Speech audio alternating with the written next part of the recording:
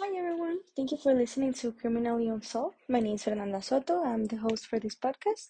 As you may have already seen from the title of this episode, this is the first one. I am going to be just doing short introductions about myself, the podcast, what I want to talk to you about in the next chapters. Okay, I'll start by introducing myself and telling you some stuff about me. My name is Fernanda Soto. I am currently 19 years old and I am a college student at UTEP or the University of Texas at El Paso. Um, this is actually for like a class, but if I like it, I might just end up doing more episodes. So I am also currently, so my major is biology in UTEP, and I'm also like doing some extra classes at night for medical assisting, since I wanna, in the future, I wanna go into like medicine and medical school and all that. So I'm doing, so they ask for a lot of stuff, right? So I'm doing different activities. I also volunteer at a hospital, at the Children's Hospital here at El Paso. I also help in a research at UTEP. And well, I work. I'm a tutor at high school. I just help kids with like their homework and all that. Supposedly, so they get into college, but they're mainly like athletes, I guess. They don't want to fail, so because they want to keep playing, of course. So that's mainly what I do. It's pretty fun. Um, I I actually so El Paso, it's like right next to a city called Juarez from Mexico, and I live in Juarez, so I cross every day the border, uh, which is pretty surprising for some people, I guess. Mm-hmm. Some hobbies include um, I like baking, I like watching movies, shows, uh, anime, reading, um, listening to music, and I actually kind of enjoy studying if I'm not like forced into it. You know, like if I'm not rushing or something. Um, what else? What else? So about me, I have two siblings, two little ones. I have three actually, an older one and two little ones. But um, I kind of take care of the little ones a lot, so I call them my kids. And some friends of mine are also like, "Oh, are your kids okay?" Like, that's just how I do. So um, I think that should be everything about me. Now I'm going to talk about the podcast and what I want to do with the later episodes. So, as the title suggests, you may have seen the Criminally Unsolved.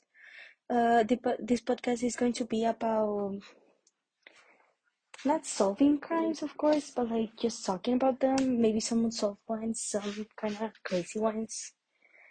Um, so, like for example, I don't know if any of you have heard about the boy in the box that was found when was it 1956 57 i think in pennsylvania. So he was literally on a cardboard box like right next to the highway.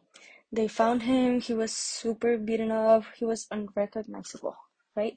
So they were looking for who was missing a child and all that. Of course no one came out. So then like so the case was just open. In 2002 some woman came and was like oh i know him. My mother like bought him and she was abused. She abused him like physically sexually and like all that. And one night he vomited baked beans that he had for dinner and she beat him to death basically that's what she said. And um, the police was pretty surprised because they found baked beans in his stomach right? Uh, but they still didn't have like enough evidence right? So then like literally like a month ago, December 2022. Uh, they so they got his DNA, they put him on the database and all that, and they were able to track his parents and all that. And so I haven't been able to. I don't think it's the kid that the other woman described, because she was saying that her his name was Jonathan and his actual name is Joseph. So I don't know. That's his one. Um, but yeah, there's also pretty old ones like um pretty famous too. So like the two princesses, I don't know if anyone has heard of them. From I think they're from England. So their dad, the king, died, and then his younger brother, the king's younger brother, came on as the king until like the princes were of age to take over. So what he did was put them in a tower just by themselves, like just them two right there. And when they came back to look for them, like they weren't there. So they didn't find the kids, they didn't find no bodies, supposedly they couldn't have gotten out because they were like enclosed, right? So there's still um, a lot of theories. So some say that the their uncle came in and killed them, and I think they were saying that they found some rest that may be them.